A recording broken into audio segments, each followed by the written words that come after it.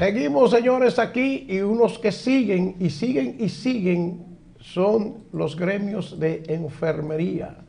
Siguen haciendo paros de labores en los hospitales de República Dominicana. ¿Por qué?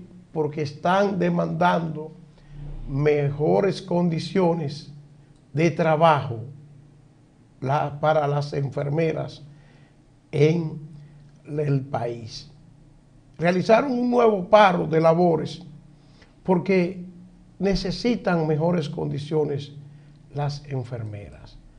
Y estos paros afectan notablemente a los que van en busca de servicio a, esa, eh, a esos centros asistenciales. Y las enfermeras en República Dominicana deberían ser mejor paga. ¿Por qué? Porque las enfermeras son quienes hacen el verdadero trabajo en los hospitales. Los médicos pasan por los hospitales, pero las enfermeras permanecen. Las enfermeras son las que están en contacto permanente con el paciente y por eso requieren mejores atenciones.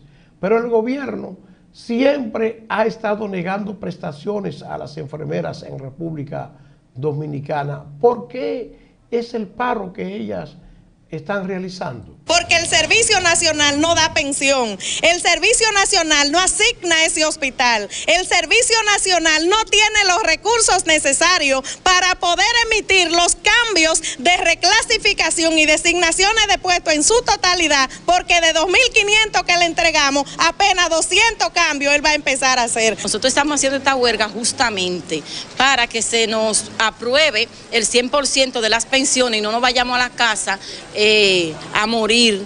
Los cambios de designaciones del personal que supervisa a todos para que ésta lo hagan con más amor y más entrega. Bueno, ahí está la demanda que tienen las enfermeras. Demanda en busca de mejores condiciones de trabajo en República Dominicana. Demanda que el gobierno debe atender y que el gobierno debe atender. ¿Por qué?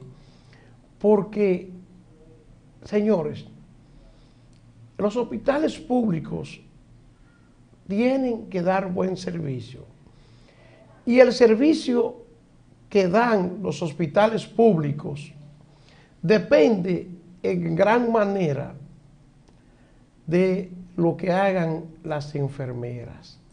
La imagen de un hospital depende del servicio de las enfermeras.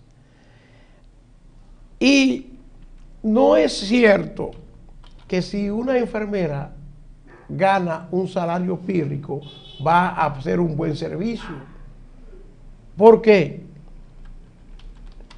Porque no está tranquila, tiene su mente en cómo va a hacer cuando llegue a su casa si no le alcanza el dinero para comer. ¿Cómo va a hacer cuando se enferme si no tiene un buen seguro médico? ¿Cómo va a hacer cuando llegue a la edad de retiro si no tiene una buena pensión? Y todo eso hace que las enfermeras estén haciendo una labor deficiente. Entonces, hay que tratar de que las enfermeras tengan mejores condiciones de vida en República Dominicana, que esas condiciones sean adecuadas para que ellas puedan ofrecer un buen servicio.